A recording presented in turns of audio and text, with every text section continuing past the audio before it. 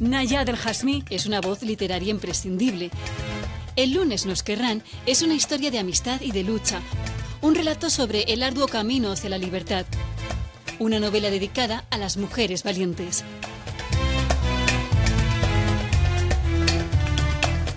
El título de la novela hace referencia a un mantra que se repite continuamente la narradora, que cree que el lunes empezará un tiempo nuevo en el que ella sea otra, sea distinta y por, lo tanto eh, la, querrán, ¿no?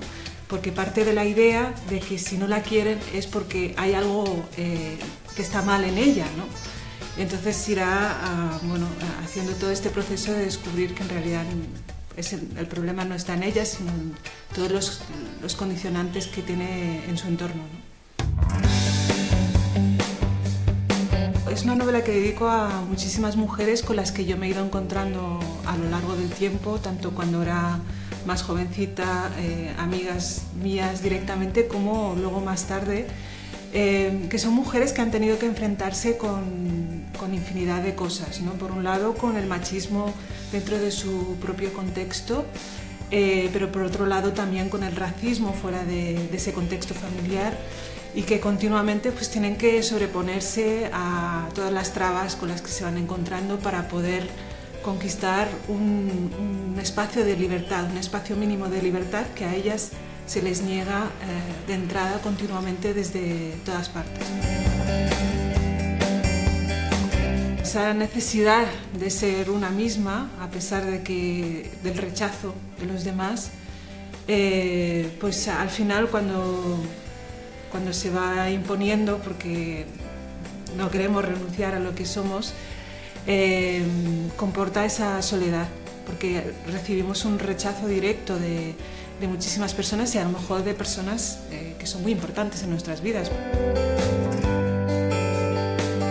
Ellas viven una situación curiosa porque, eh, claro, son hijas de familias musulmanas y, entonces em, son la primera generación que realmente eh, tiene que poner en práctica el amor, porque sus padres se han casado con matrimonios de conveniencia, así que la cuestión del amor pues no está prevista y de hecho para ellas tampoco es que esté muy, se tenga muy en cuenta, ¿no? porque sigue todavía un poco vigente la idea de que tendrán que casarse con quien decida la familia.